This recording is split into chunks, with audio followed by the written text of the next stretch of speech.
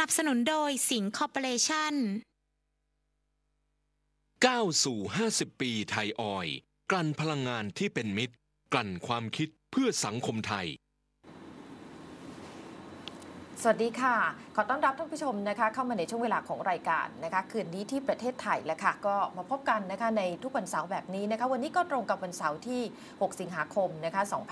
2554 ค่ะ กลับมาพบกันกับคุณสุนทรยานชื่นฤทัยในธรรมนะครัคะบและดิฉันบรดมจิตดอนค่ะ วันนี้ประเด็นที่จะพูดคุยกันมี 2 ประเด็นด้วยกันใช่ไหมคะแต่จะก็เป็นต่อเนื่องเชื่อมโยงกันค่ะ เป็นประเด็นที่สืบเนื่องกันมานั่นนะคะกับ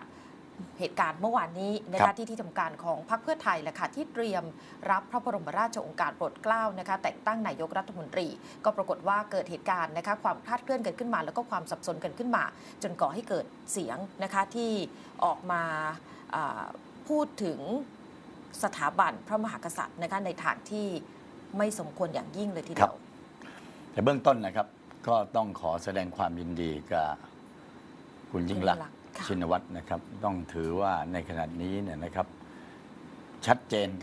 99.99 นะฮะแล้วก็ไม่น่าจะมีอะไรเปลี่ยนแปลงแล้วค่ะในการก้าวขึ้นสู่เป็นนายกรัฐมนตรีคนที่ 28 นะครับ แต่ว่าการที่ได้เป็นนายกเนี่ยนะครับ คน 28 เนี่ยแน่นอนนะครับ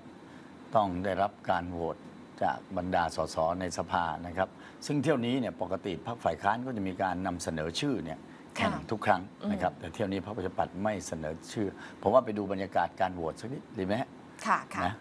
ค่ะลองไปดูกันดูค่ะท่านสมาชิกครับ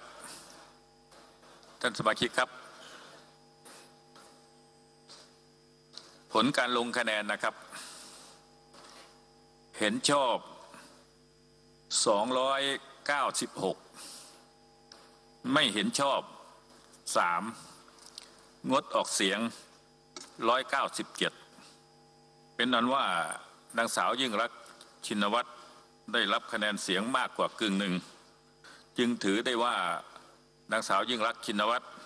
ได้รับเลือกตามมติของสภา ให้ดำรงตำแหน่งนายกรัฐมนตรี ขอบคุณครับ ปิดประชุมครับ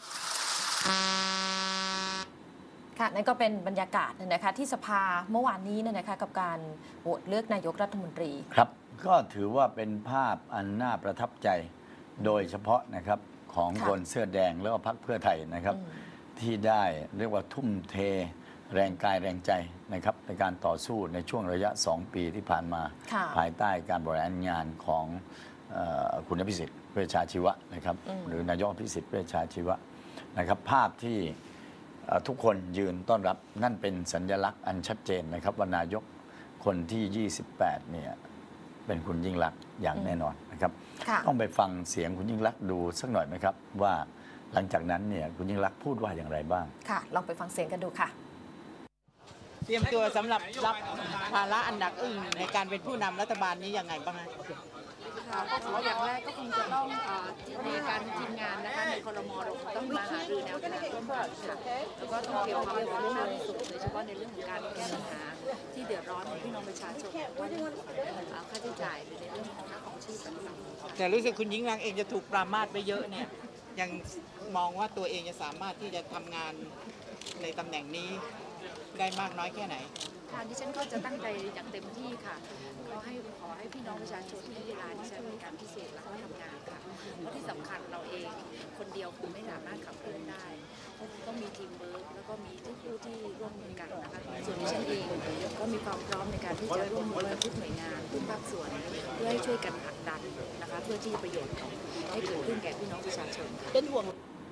นั่นแหละค่ะก็เป็นเสียงของคุณยิ่งรักษณ์นะคะที่หลังจากที่นะคะได้รับชัยชนะในการโหวตเสียงนะคะครับนายกรัฐมนตรีแล้วก็ออกมาให้สัมภาษณ์กับบรรดาสื่อมวลชนค่ะนะคะก็จะพูดถึงในหลายประเด็นเลยทีเดียวนะคะว่า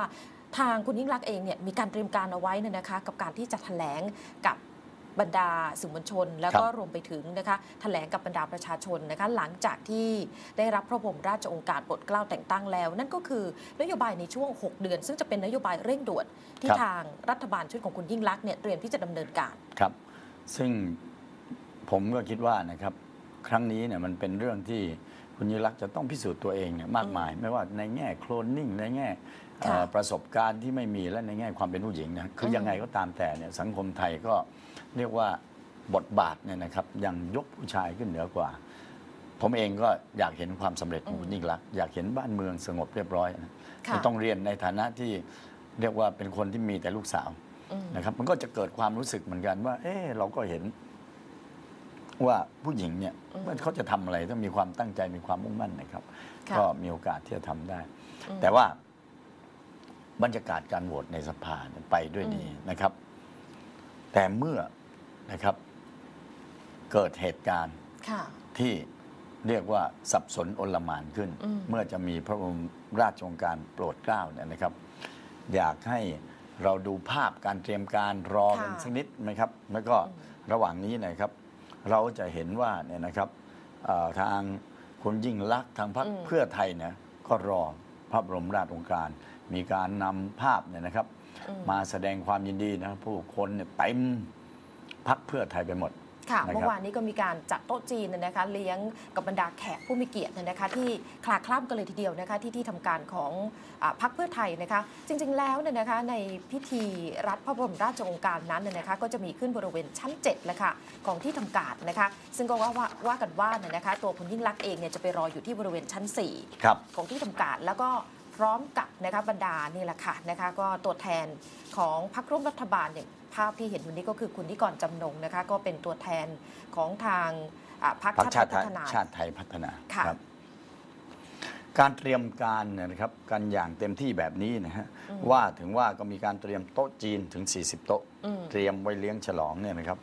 แล้วก็ที่น่าสนใจมากกว่านั้นเนี่ยนะครับเอ่อมี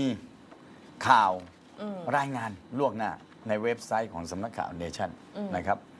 ซึ่ง เว็บไซต์สำนักข่าวเนชั่นก็รายงานว่าเมื่อเวลา 17 นาฬิกา 50 นอน พระบรมราชโองการโปรดเกล้าแต่งตั้งนายกรัฐมนตรีไปประทับตราที่ทำเนียบแล้ว โดยนายพลกิตตพลเลขาธิการครมจะเป็นผู้นำสารโปรดเกล้าจะนะเป็นผู้นำสารโปรดเกล้าแต่งตั้งนายกรัฐมนตรีมายังพรรคเพื่อไทย และจะนำมาวางหน้าพระบรมฉายาลักษณ์พระบาทสมเด็จพระเจ้าอยู่หัว